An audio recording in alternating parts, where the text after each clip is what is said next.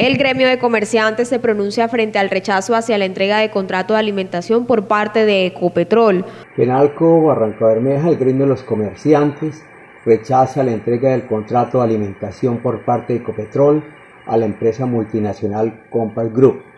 Manifestamos a Ecopetrol la actitud carente de responsabilidad social al desconocer el sector de alimentos de la ciudad a la hora de contratar este tipo de servicios.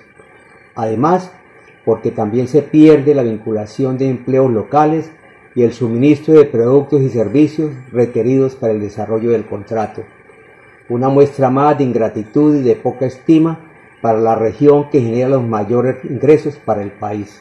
Por su parte, esta comunidad también expone la importancia de adaptarse al esquema de contratación bajo modelos asequibles a la oferta local unida con alianzas nacionales como forma participativa para el desarrollo empresarial local.